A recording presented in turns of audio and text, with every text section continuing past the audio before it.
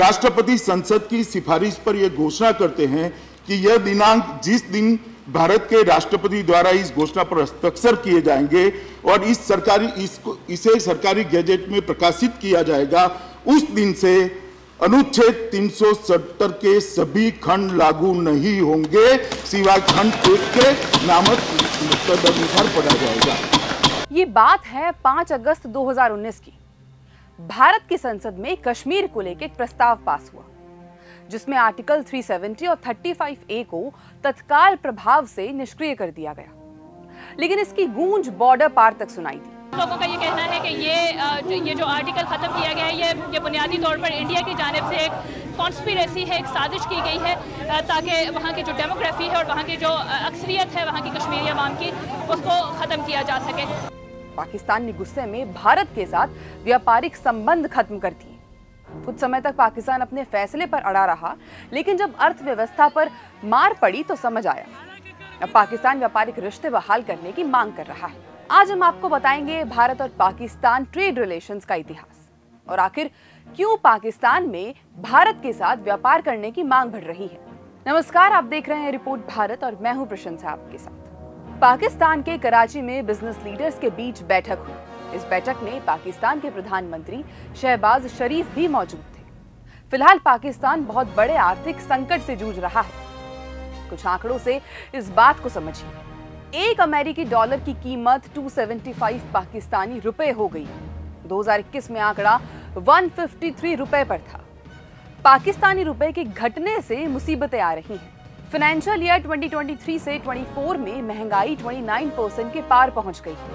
गरीबी रेखा से नीचे रहने वाले लोगों की संख्या 40 प्रतिशत से ज़्यादा हो चुकी है। पाकिस्तान सरकार को बिजली बचाने के लिए अजीबोगरीब नियम लाने पड़ रहे हैं। सबके अलावा पाकिस्तान के ऊपर चढ़ा कर्ज भी बढ़ रहा है।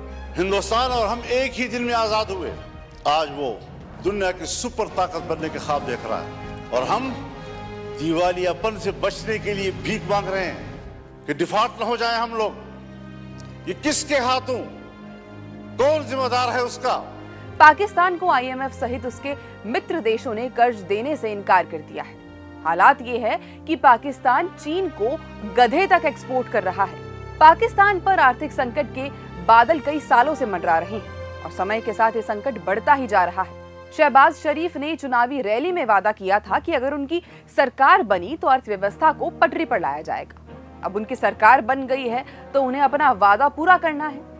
इसीलिए वो बिज़नेस लीडर्स के साथ मुलाकात कर रहे हैं और उनकी राय जान रहे हैं। इसी दौरान मीटिंग में एक बिज़नेस लीडर ने काफ़ी दिलचस्प सुझाव दिया।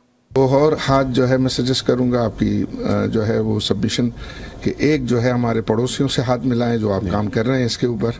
आई थिंक उसके भी जो है वो बहुत अच्छे नतज जाएँगे इंक्लूडिंग इंडिया मैं समझता हूँ। और आप ये कर सकते हैं कि इंडिया के साथ भी जो है मामला को ठीक करते हैं। तो आई थिंक ये अगर बेसिक चीज़ जो है हो जाती है तो मैं समझता हूँ कि बहुत जो है वो बेहतरी आएगी। ये सुझाव दिया आरिफ हबीब ने। उन्होंने कहा एक तो आप इमरान खान के साथ अपने मसले हल करने की कोशिश करें और दूसरी चीज़ आपको भारत के साथ व्यापार शुरू करना चाहिए। इससे हमारी अर्थव्यवस्था को काफ़ी फ़ायदा मिलेगा। अब सवाल ये है कि भारत और पाकिस्तान का आखिर व्यापारिक इतिहास क्या है?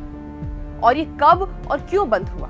भारत और पाकिस्तान के बीच कभी भी स्मूथ ट्रेड नहीं रहा है और हमेशा उतार चढ़ाव आते रहे। आइए उन पर नज़र डालते ईयर 1952 में इंडिया पाकिस्तान ट्रेड कॉन्फ्रेंस हुई, जिसमें तीन साल के लिए एक फ्री ट्रेड अग्रीमेंट किया गया। हालाँकि ट्रेड का वॉल्यूम इतना ज़्यादा नहीं था।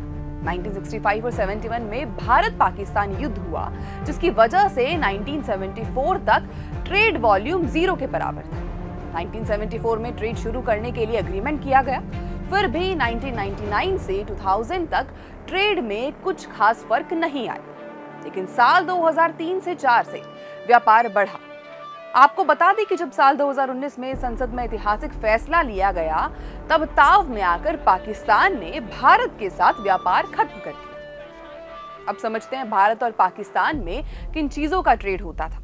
साल 2011 से 18 के बीच भारत से पाकिस्तान जाने वाले प्रोडक्ट्स में सबसे बड़ा हिस्सा टेक्सटाइल का था। 2018 में भारत और पाकिस्तान के बीच सिर्फ़ टेक्सटाइल इंडस्ट्री के करीब 850 मिलियन डॉलर का व्यापार हुआ था। आज के हिसाब से बोले तो 7000 करोड़ भारतीय रुपए। इसके अलावा केमिकल प्रोडक्ट्स और फ़ूड प्रोडक्ट्स भी भारत से पाकिस्तान जाते थे। अब समझते हैं कि पाकिस्तान से भारत कौन से प्रोडक्ट्स आते थे। पाकिस्तान से भारत आने वाले प्रोडक्ट्स में सबसे बड़ा हिस्सा फलों का है।